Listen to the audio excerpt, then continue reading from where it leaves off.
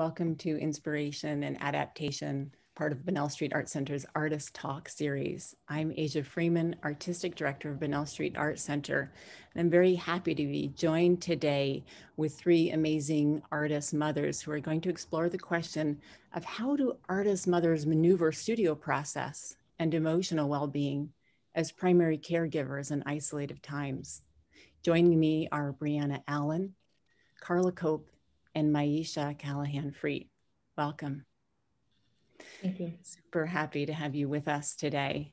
I'm coming to you live from Dena'ina and Sugpiaq land on a beautiful piece of land by Kachemak Bay called Kachikmak by the Sugpiaq people, land on which Bunnell Street Art Center stands. It's our privilege to be doing the work of accountability, dialogue, transparency, and acknowledging the complicated history and the many stories that are the truth of this place. So, turning to our dialogue today, let me introduce briefly our um, participants. And then we'll move around and look at some questions and share some images. Brianna lives in Homer with her husband Rob and her two daughters, Josephine at three and a half years and Manon at 17 months. She received her bachelor's in studio art and entrepreneurial studies and her bachelor's in fine arts with a concentration in painting from the University of Southern Maine in 2007. Carla Cope is a multidisciplinary artist exploring her perspective as a neurodivergent woman artist mother. Can't wait to talk to you more about that. She works primarily in painting, sculpture, and wearables. Carla first began drawing people at the age of two, and she's single mindedly pursued art ever since. She's the mother of two daughters, married to her husband, Dan, living here in Homer for many years, and she has a BFA from Oregon College of Art and Craft in 2003. She has served on Bunnell's board of directors since 2011. Myesha Callahan Freet lives in Chugiak with her husband Christian and her son Vassar. She produces photographs, abstract paintings, and mixed media sculptures utilizing found objects. Her recent performative video work is a family collaboration that explores the roles and meaning of family. Myesha holds a bachelor's of fine arts in photography and digital media with a minor in art history from the University of Houston. She, been, she joined Bunnell's board of directors in 2019. So I'd like to begin this dialogue today um, with a question. How does being a mother today reflect in your art? Any one of you could join us in speaking up about that. And if, if it's a little bit too intense and too early to hand that strong question out, we can come back to mm-hmm. it. Anybody feel ready to jump in on that? I don't mind starting. Okay. I think it's a, a good segue because I was going to say, I feel like I'm at an intense part of parenting. Um, Vassar is 14, so that's lots of emotions, hormones. He's starting high school. So the work that I produce is centered around the evolution of our family and I feel like we are in a huge shift right now together and just learning how to love each other. I've never parented a 14 year old before, so I'm learning how to parent a 14 year old who's transitioning to be a man so that reflects in the art and just learning how we want to continue forward as a unit. Mm. Powerful. Your thoughts, Carla? Yeah, I um I love that that your artwork is it is about the partnership. And I I have found that I would not be able to do any of this work without partnerships, whether that's my my husband who believes in me and um, helps support what I do as I, you know, help support his goals and desires. Um, and also being able to talk to other moms and specifically you three have been really wonderful um, in that in that realm. I found that as I pursue this line of artist mother inquiry, it really becomes about the the connections between artists and and mothers that um, the idea of an individual artist working alone in the studio is just not enough for me as a mom and as an artist. And it's the it's the conversations that we have the um, the shared experience that really helps with finding the commonality and the and the humanity in the fact that being a mother can be very isolating and lonely um, and confusing. And i find that we almost every mom i talk to whether they're an artist or not has these feelings of guilt and self-doubt. And by sharing with each other uh, we can address those and and find that we are all doing the same thing alone. And creating those networks has been the most transformative part of, of the last two years by far um, i found that before i had kids I felt like I was lacking something in as an artist. I was trying to strive for something, but I wasn't sure what that was. And it was very much about me as an individual. Am I good enough? Am um, you know what am I making? Why am I making it? And now I find that it is what are we making? How are we moving forward together? Much more compelling. Um, so it's less i feel less competitive as an artist now i feel more a part of a collective and and the same can be true about motherhood in its best moments um, i find that uh, before we had kids i i remember saying kind of glibly one of the reasons i want to have kids is that so i can make friends i mean to have that that that immediate connection with somebody and that immediate sense of understanding and um, shared experience is really powerful. So I, I love this dovetailing of motherhood and art together. And I'm really excited by the work that, that these artists have been doing and, and that I get to be a part of, a little bit a part of their experience. Excited yeah, to look at. And I, I really respond to what you both just said. Um, um, Myesha, you said your art making is centered around the evolution of your of our family is what you said and i was like jeez. Like that i mean what it, it just seems like like that sort of is such an ultimate like maternal um um it is a privilege to take something like that on but geez talk about like carrying the world on our shoulders just that's just what we're doing you know? Our our own big small world and and you also said you know you've never parented a 14 year old before and that that struck me the other day for myself. It's like you're in a constant learning curve of doing this brand new thing every day because we've never parented a three and a half year old or what have you. Um, but we are in we are forced to be in such a moment of um, present presentness and that really doesn't afford a lot of luxury like it did bef- before kids. Um, but what I find that it's left me with are the kernels, both good and bad, right? And they're kind of rough around the edges. And as I've always kind of framed art making, good art making exists in the edges, in the boundaries. And that I just feel like I'm constantly like in that space. Um, it's kind of funny that the wall behind me, it's like, I feel like boxed in.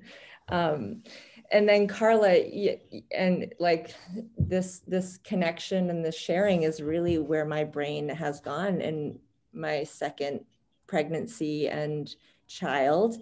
You know, there was a moment, actually my first, that it was like a weird moment that I had a friend um, come to me and sort of like confess like this funny story about her child. And it was that moment where i was like why does this feel like such like a an authentic random connection that i just made with her? And it was just that. It was like that feeling of confession and um, you can instantly relate to this other mom and and this also sense of release in mm-hmm. yourself.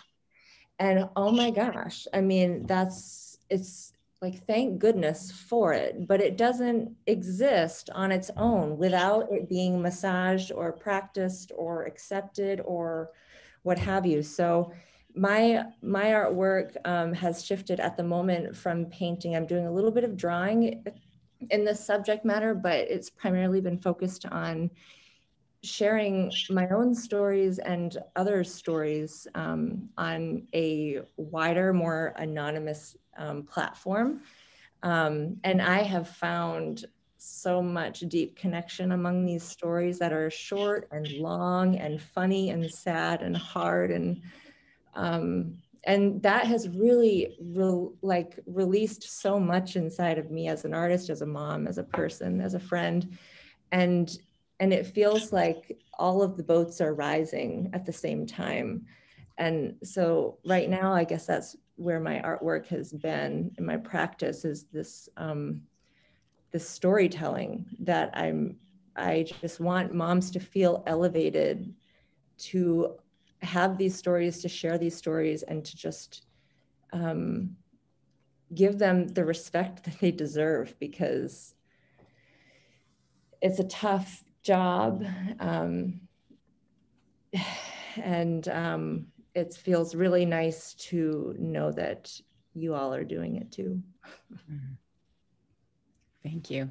I'm excited to um, see how these ideas that you all have shared about mothering and making um, surface in your work. Could we look at some images? Maybe we could start with Myesha if you're comfortable um, just sharing through screen share um, a little bit of uh, background perhaps, and then what you're making today. So,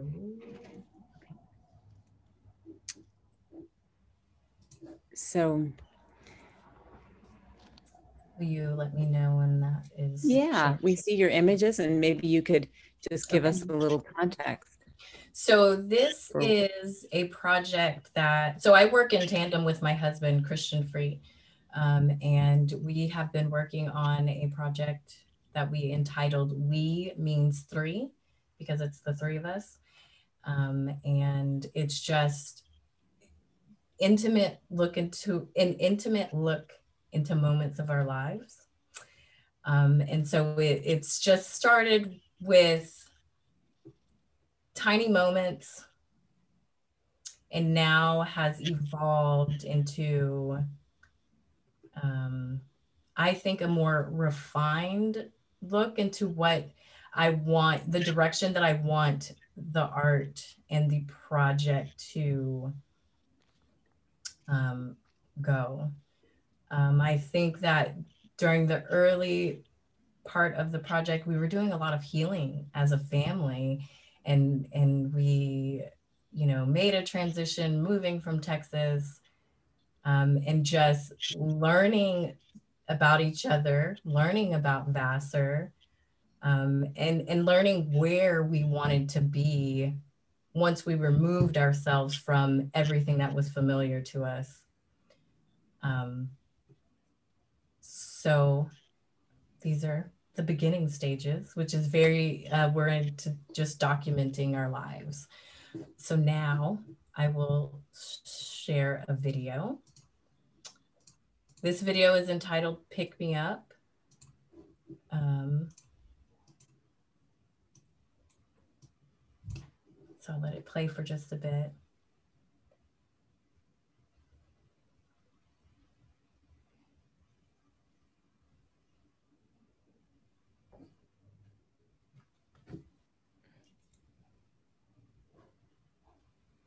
And specifically pick me up is is just about family support and how we are the first line of defense for each other. And and sometimes it's messy and it's hard and you know it might be easier for someone in in one situation but we try. And that is the ultimate goal is to be there for each other and to figure it out I really respond to the black and white quality of the video, just sort of like that that stark and pure aspect. And it's it's a silent piece, right? Yes. Mm, beautiful. I love that you're you're it's such a whole picture. You're including this um, humor element and absurdity, but then it it it's deeply I feel it physically in my body, and it um, it's very emotional and um, affecting on, on on a lot of different levels.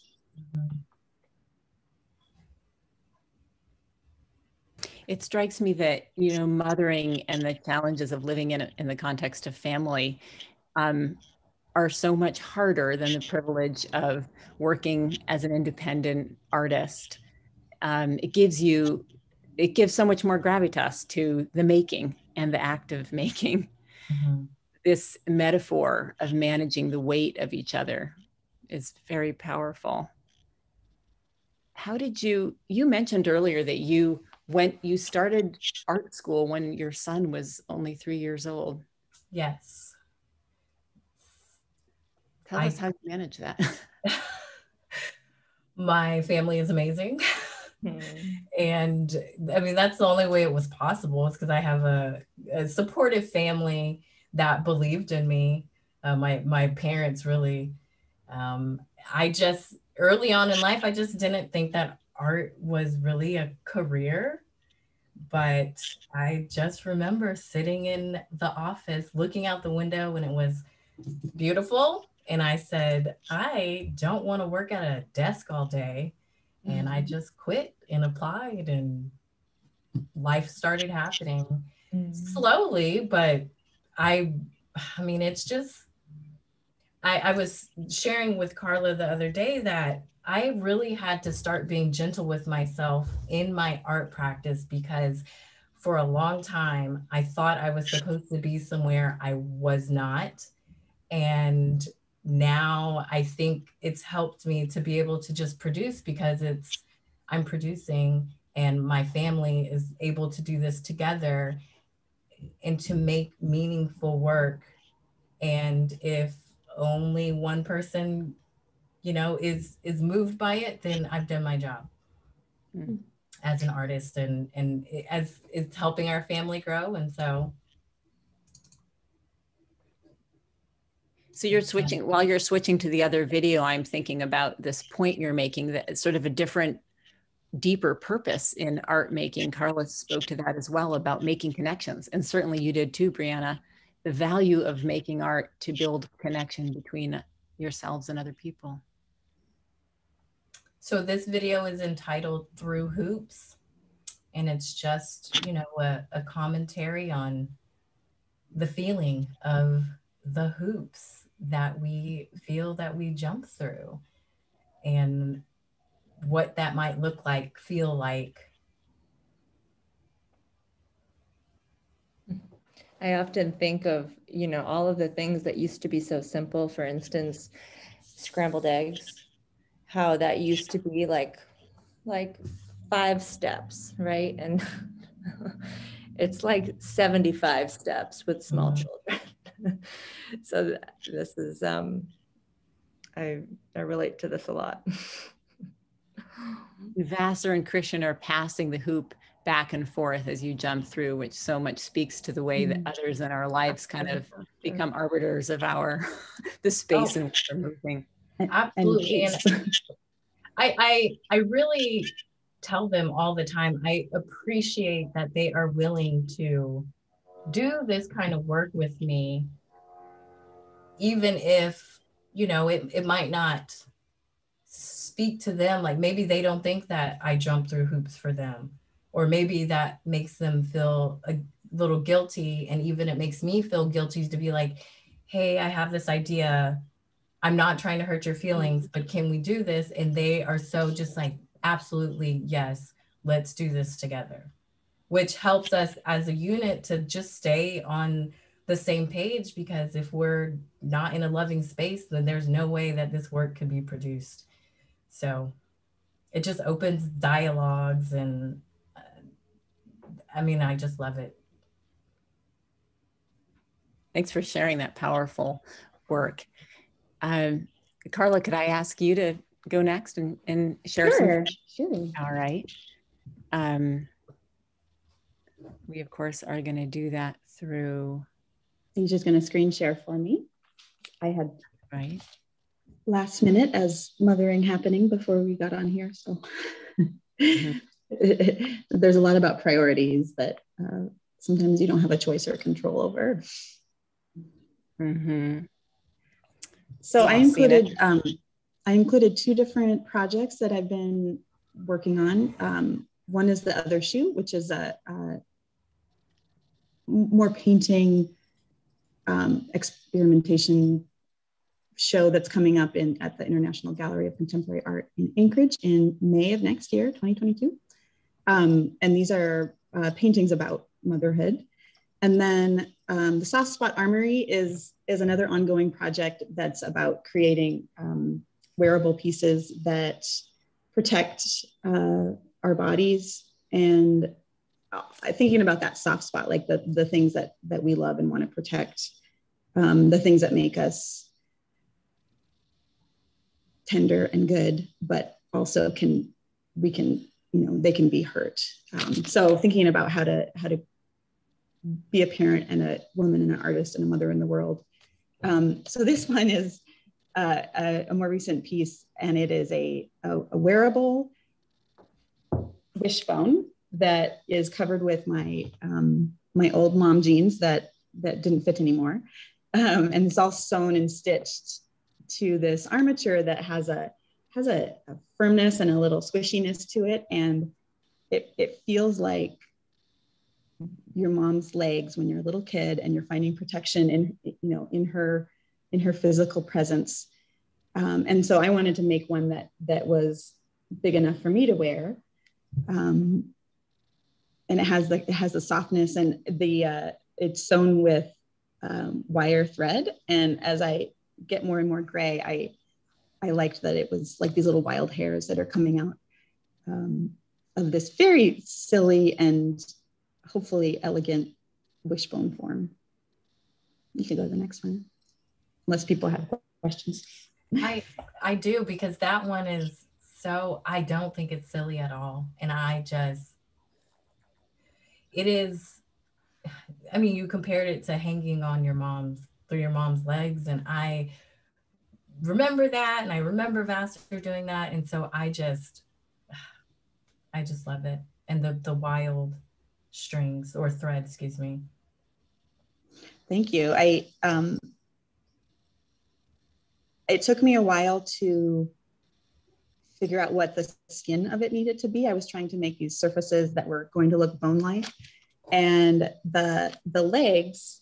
There's actually, as I fit it together, there's actually the you know the crotch of the jeans fits right up into the crotch of the of the wishbone, um, and wishbone is this is a very special symbol for a lot of families. But for, for my family growing up, we always kept the wishbone and saved it and, you know, did pulled it apart and did the wish. And later on, I realized that there's a trick to the wishbone and who's going to win. So I felt like it was um, a little bit of a trick that's that's played that the kid grabs it and pulls and then they get the shorter stick and the parent well at least in, in my experience if you just hold it and don't pull, you have less resistance, than you actually end up winning. Um, so the wishbone kind of holds some of that that imagery and family history for me. But I like them as this intact structure that they are holding the potential for a charm, for a wish, for um, a hoped for outcome. And so these ones are um, the original wishbones that I was making. And I'm, and I'm just using them as ways to relate to the body and to create that protective form over our heart, um, mimicking the, the uh, rib cage. Um, and then the image on the right, I've been just experimenting with surfaces and, and I'll layer paint and then sand it all down. And because, because it's this imperfect kind of medium, I end up building this patina of of age and and actually these really beautiful little cracks have have been poking through. And so I, I started highlighting those cracks. I think about that outer one, that, the largest wishbone in this on that right hand image as this kind of generational knowledge that's passed down and that it is cracked and worn but it's it's being kept and saved for something for for a, you know hope for the future that um instead of using these wishes we might hoard them a little bit or i, I might hoard them a little bit uh, there's certainly an element of of um of darkness in my work. I, I like I like the humor. I like the absurdity, uh, but I also want to look at what it really is like to be a mother and a human with open eyes about all sides of the of the um, experience and and i think that um, this is so this is work that i'm actively pursuing and and kind of throwing out all these different ideas and following these threads and seeing where I can go with it. At this stage in my in my making, I, I feel like this giant burst of inspiration has happened within the past couple of years since um, my daughter's so I have an eight-year-old and a uh, five-year-old. So when my littlest one turned three, about three years ago, we had a lot of life changes happen in our lives. And I, I was just turning 39 and I realized this is it. I, I'm, I don't want to feel, I don't want to look back and feel like I wasted time. I, I have to focus on, on me as a human and as an artist to be able to mother and parent and support my family in the best way possible. Um, as I felt like I was failing at, at the, the, the the things that, that seem easy for other parents. Um, so I started looking back at images of, of uh, what it looked like to be in that. So this is a this is a painting of my first daughter, and we're in Mexico, and looking at um, the female form as um, from from my perspective, but you know, feeling loving and sexy and mothering um, all at once and and this really private moment. And then and i just was teaching myself how to work with oils. I've always worked with acrylics and i felt really intimidated by oils. So when i had this big um,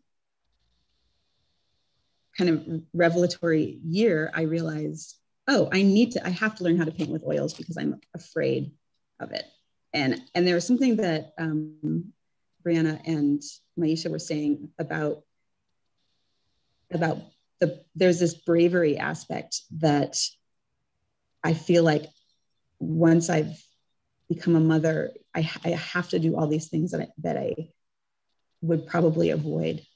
And through doing that, I realize how much stronger I am than I ever realized. And I and I take that to my art practice, and it it feeds and informs um, everything I do in my best moments. this is a painting that I did of my um, second daughter, and it was from a photograph that my then three-year-old took of me nursing my second daughter, which I love that that that those layers of imagery, imagery um, or, or layers of perspective kind of compounded into one photograph. And then as I was painting it, I, I I was not feeling the face wasn't right. And I let this little painting kind of sit aside for a while. And then Mother's Day hit this year, and I decided I knew just what I had to do, and I had to burn a hole through this painting. I did a little film of it. Um, it's on my Instagram, and almost these cloud-like shapes of kind of emerged from this burned portrait, and then putting it up to my face and my myself now looking back and looking through this this image of a of a nurturer and also um, mothering just becomes a lot more complicated and self-image becomes a lot more complicated with with all of these different perspectives and and uh, responsibilities. So that's what that's what this piece is about about for me. Um, this one is uh, again a, a painting in oil and I used a photograph that my brother-in-law, he's an amazing photographer, artist. He took this photograph and then I, I translated it as a painting. Um, but it is of my sister, my mother, my uncle, and my nephew. And it really spoke to me this, this uh, pushing down feeling, um, this kid that's leaning into grandma. And I, I called it black hole um, because I, I don't know if there's a tension between being pushed in and being supported. Mm-hmm. Um, and I, I, I got to say that there's this juicy, rich, you know, Brie, you were talking about it on the on the margins of things. It, it's this messy, kind of ambiguous space that I feel really grateful for as an artist because it is. Um, I, I like I like that there's a question there, that there's mystery, that there's no clear answer. Sometimes that's really frustrating, but it's very freeing to to have that space and and to have this way of talking about it. Um, yeah. And you guys can interrupt me too if you have questions. um, so I have two girls, and I think about their relationship and our family um, and I find myself photographing them a lot, finding them in these, these positions where they are relating to each other. It talks about their relationship to each other and to, to me as the observer of their lives.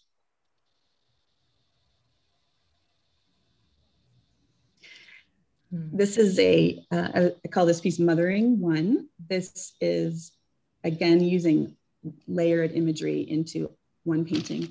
Um, I found these photographs of a, uh, a, sea lion that was being butchered.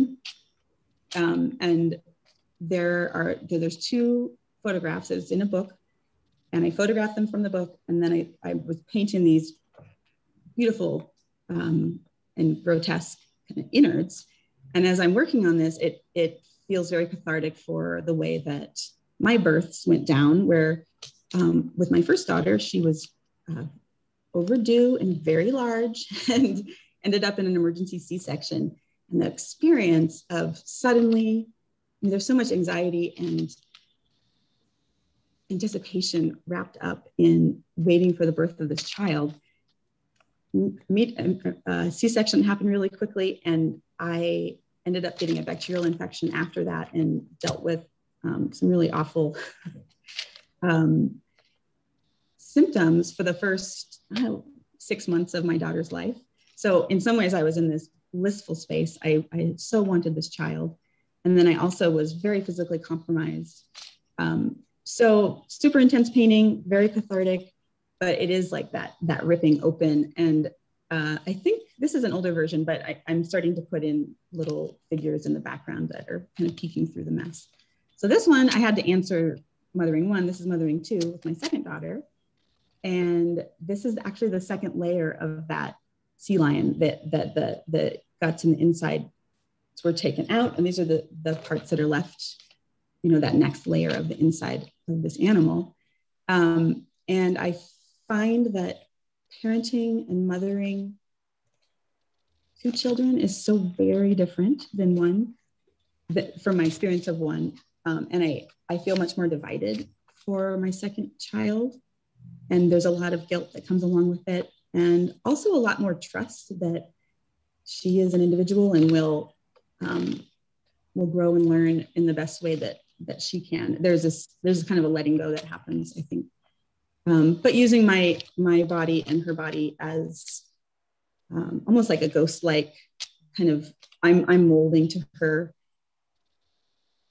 to this or trying to conform to this uh, experience. And then she I, I, she's either hiding or she's um, like comforted under blankets under this whole big mess or maybe she's being kind of crushed by it. I'm not sure.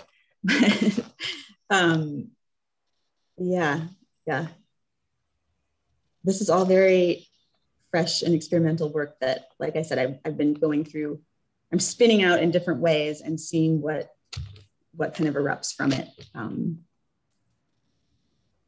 always admired your capacity to be able to work in multiple fronts, you know, sculpturally and in painting, in different themes in painting and in different themes in sculpture as a way of finding, like doing the research, doing the work of research to figure out where the vein of gold is for you. And I found, thank you. I find that I I can't do just one thing.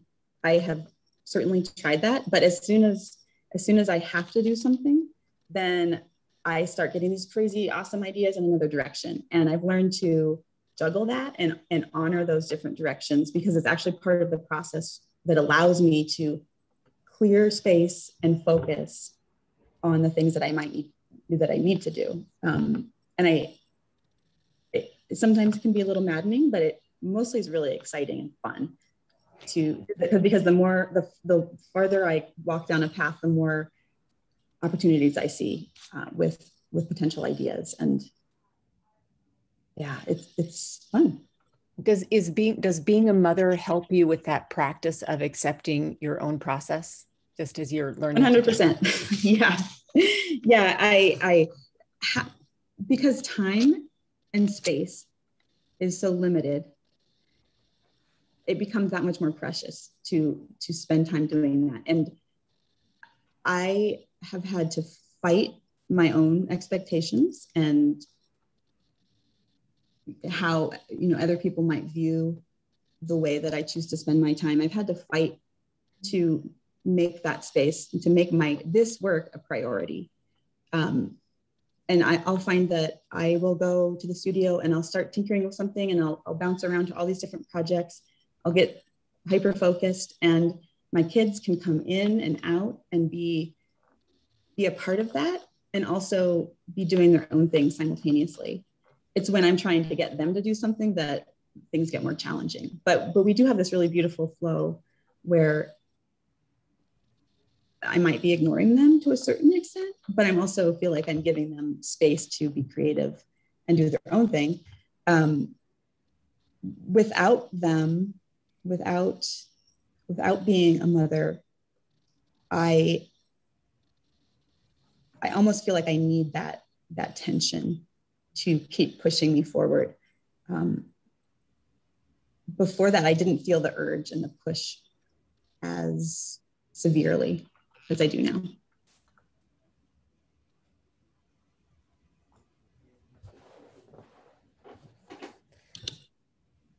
Think we just lost Asia. Oh dear. Um, she'll probably pop back on, but Carla, I just wanted to respond to um, how you know the fact that you're pushing through your process making right now and you're making this work is such a special time of vulnerability that I think we end up forgetting about.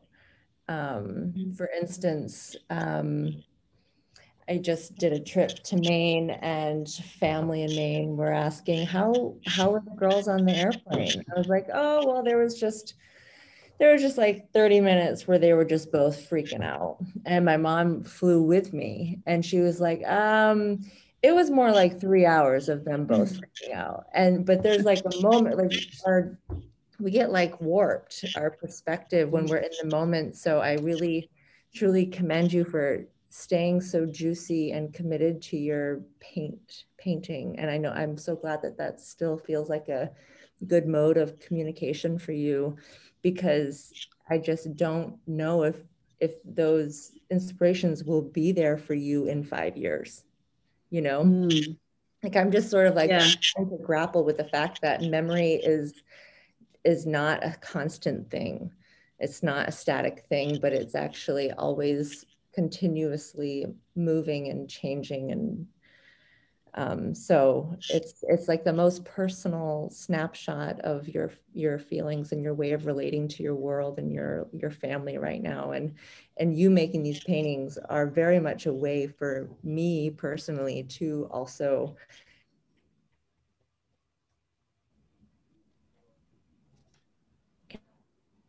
Did we lose you? Oh, I think she froze.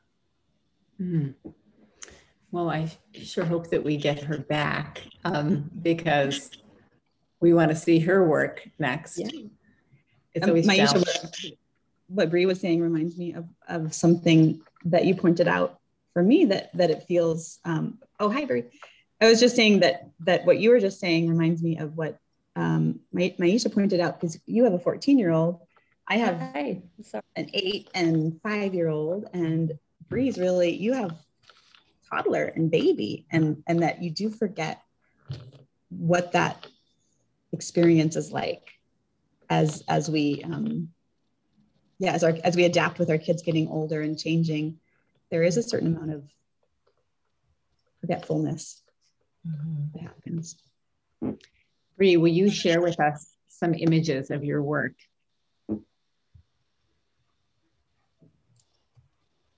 okay you're muted so. There we go. Okay thank you. Um, so I thought that I would start off. I I um I've started uh, collecting anonymous stories from mothers um, and sharing them on my social media um, just as a way to build a, um, a community of, of storytelling. And so I thought I've created a website, but I thought maybe I would just start off with reading two monologues and then I would just share the website. Um, and I'm just going to read them first and then I'll um, after. Okay, so this first one. Um, I hate to tell you this girl, but we're made for this shit. That's what my sister in law told me. Three months post baby, I was feeling depleted physically, emotionally, spiritually. I felt like a warm, moving corpse with only space between my ears and very sore nipples. I couldn't even escape to Netflix without feeling handicapped because I couldn't follow any plot unless I was both hearing English and reading English via the closed captions. Even then, I still had to rewatch all the time. Hearing that we're made for this was both affirming and totally devastating. It's a complicated feeling when you both feel inept as a human in the world and also like a ruthless maternal machine capable of doing anything it takes for as long as it takes to keep her baby sleeping. I had to bounce. I had to bounce for hours on my yoga ball. It was my baby's cure all and my nemesis. It was our drug. I guess I was made for it because I just kept bouncing all morning, all afternoon, all evening, bounce, bounce, bounce. My husband couldn't bounce for longer than a few minutes, he said, because it wasn't comfortable for his back, he told me. And it wasn't until then that I realized that he hadn't automatically sacrificed his own comfort the moment she was born, like I did. Wow. Um, and the second one, um, my dad's Alzheimer's was ramping up when I was pregnant with my daughter. When I went into labor, he insisted on being there, even though everyone in the room said that maybe it wasn't a good idea. He walked me around the maternity ward in endless loop like a champ. He also got a full front stage view of me having a catheter put in. He started demanding I get an epidural because he had heard me beg for one. When it was all over and I had and he had seen the whole thing, I apologized and he said, Well, I've seen worse. We both laughed and I cried a little bit. He was the first person to hold my daughter when she was born as I was in recovery for the C section. I will never forget those moments. I was lucky to have them. That's sweet. Made me cry. they will sometimes. okay, I'm going to slip into screen share now. Um, so this is, can you see it okay? Mm-hmm. Okay. Yeah, and you could do full screen view. There you go. Great. Um, so I've received about 50 of these stories and and the the best part about them is that they aren't written by writers really and it, it, they're so they feel so fresh and authentic and just firsthand account. Um, it feels like journal entries. Um, and, and I've also begun working with um, a with Pier One Theater um, and also an, another writer in town in hopes to bringing this project um, a bit wider. So I found that when I was pregnant, I was getting a slew of wonderful stories, but it, and and and so there's something to think about in in that, you know, um, because I'm not pregnant anymore, and it seems like the stories have have quieted a bit. Um, but I know that they're still out there because I'm still hearing them. And I'm, you know, so um, I'm excited and hopeful that maybe it's time for this project to take on um, just a new method of getting out there and hopes in hopes of growing it. So what it's it's sort of a collection of all of these stories and folks are welcome to just poke through. It's called monologue collective and i'll i'll share that in the chat. And um, you can also sort of look through um, and pick your favorite subject um, from poop to cervixes to you know um, midwives. And also there's a there's a feature um, that I hope to expand upon, and that's actually having the audio file for each of these stories. Um, and so I've just working with um, hopefully Pier One in the future and maybe bringing this more to the stage um, and also finding new ways to share the stories that have already been contributed for instance, having them read by other people, um, or maybe there's like a um, an overlap of performance um, that I'm just really excited to think about. Um, and I'm just gonna step out um, here and go back to our, and I'll pop that in the chat. But um, that's sort of I've I've just really felt um, connected and grateful for the moms who have contributed to this collective, and I'd love to do um, maybe a printed version eventually. Um, because they do feel so personal and you know i've read that i've read both of those stories probably 30 times and they still just find a place in me and um, they just feel very familiar and they sit for a while and they they pull in really tender places because I ultimately know what a gift they each are, um, how personal they are, and how brave women are for contributing them, especially especially when they're not the the more of the poetic, rosy versions that are more easily shared and what we usually share before we have children or what have you but it's actually um, the the ways that motherhood have surprised us the ways that um, you feel like you come up short because you're not the only one. And but in reality we're like raising a person. Um, and and and I know I'm being really presumptuous and I'm just I my situation is my husband is gone for about half the year. So it really does take on that um, predominant role of me sort of steering. I, I, say, you stay in your wheelhouse, I'll stay in mine. Um, and it works out good for half the year. And, um, but it's, it's, it is a challenge and you're often, um, like Carla said, surrounded with doubt um, and tired, you know, the, the physicality of it is, is wild. Um, and I also am really interested to hear um, thoughts about where you know these stories of our children, you know where where their autonomy is, and at what point is it our story and I you know this idea of like oversharing our experiences at the at a compromise for our child. You know I it's like it, it's almost like you there's a point where you feel guilty of sharing something too truthful, right? Because, well, they're likely going to learn how to read someday. And sort of like, it's like you have to think about what your third step is going to be before you unload it, right?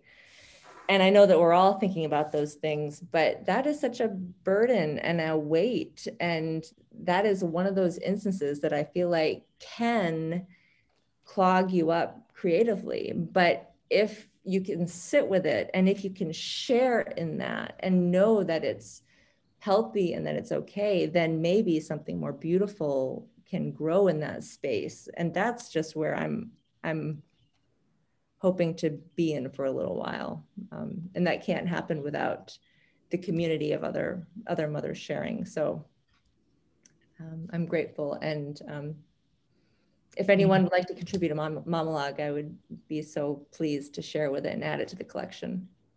I was just going to say that I, I think it's beautiful that you have taken on the heavy role of taking on these stories. Um, I just think it's special that people are trusting you with this and you trust yourself to hold that space for other moms and to then hold these stories because it's a I mean that story that made me tear up because I was like, "Oh, I miss my dad." you know, "Oh, I would have loved my dad to be in the room." You know, so it's it's it's just a beautiful thing and and um to translate that into art. I mean, that's what this is all about. I'm really thinking about how motherhood can change one's practice, you know, studio practice, but also like a sense of purpose in life. I'm curious about how motherhood has changed your ideas about beauty. You know, is that something anybody wants to comment on? Does that seem relevant? I can start. I um so I figure model and I with the figure modeling, I'm always like, oh, Vassar's getting older. Maybe he's gonna start feeling weird that mm. somebody will be able to find an image of his mother online.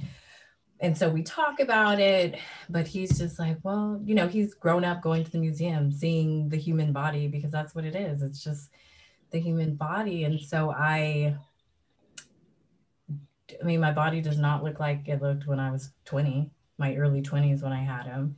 Even now, I'm almost 40 and my body is changing again. And, you know, he's very like, oh, mom, I see your stretch marks. Oh, I did that to you. And I'm like, yeah, you did. Oh, you know, mom, oh, I see your C section scar. I'm like, yep, it's there because that's, you were harvested from me. And so it's, it's like a playful banter, but I'm also like, oh, I'm glad that he knows like what a woman's body looks like. I think is so important. And, uh, I'm I don't know, it makes me just feel okay with like, you know, this is what my body did and and so I I love my body and it's strong and I just wish that other all moms could get that. You know, everybody has their moments, but we are who we are and these bodies this is what we did with them. I love how that question started out with um, beauty in mind and it ended with strength. Yeah. That was beautiful. I think about beauty um, a lot and how we present in the world and how we are judged and how we judge ourselves. I it's really interesting raising two daughters that are very different and have different ideas of how important presenting beautifully is. Uh, one of my children, she's she wants to have fun and she doesn't want accessories to get in her way. The other one, it is accessories all day long. I hear her talking about beauty as it's pink, it's pretty, it's sparkly, it's pretty. I mean, it is, it's a direct correlation. And she, and she already at a very young age asks, do I look cute? And, and I, you know, I, I, I think about femininity, which growing up in Alaska was not something I was ever comfortable with. I think about setting aside my fears for her and letting her love what she loves. And that that becomes harder because i want to shape uh, my urge is to is to you know not get her the pink things but i also want to honor her um, complete joy in them and have femininity not be a negative. Mm. um, and, I, and i feel that that reflects in the artwork that I make where I've embraced pink as a color and, and find it very powerful. Um, and it, it, so it's directed the imagery and the colors that I use in that way. And I also working with, you know, my own body as a subject for painting is scary, but also really truthful. And I find um, like there, I had I did a, a painting of a nude with a C-section scar, and um, it's it's something that maybe wouldn't you wouldn't notice until you've had a C-section. And then every mom that sees it that's had one knows exactly what that is and and can feel that. Mm-hmm. And that's where the the imagery and the the transcendence of, of painting as a medium for me really makes sense. Um, and I and I do think that I I've always felt that beauty is kids, things that are grotesque or, or um, not typically considered beautiful are beautiful. Like that's we had a we had a course in college called beauty. it was my one of my favorite classes. Uh, so that's something that's very much on my mind all the time. But I do like thinking about how I view myself as a person I find that the, the, the beauty in motherhood is it's in those experiences and it's in their delight in the world and in me as a as a, a loving entity in their life. And I find myself much more accepting of my flaws than ever before.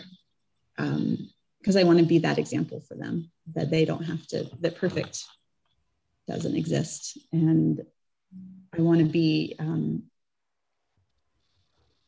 I want, I want, I want to be one of the ways that they see beauty in the world, because they certainly are. You know, children are so beautiful.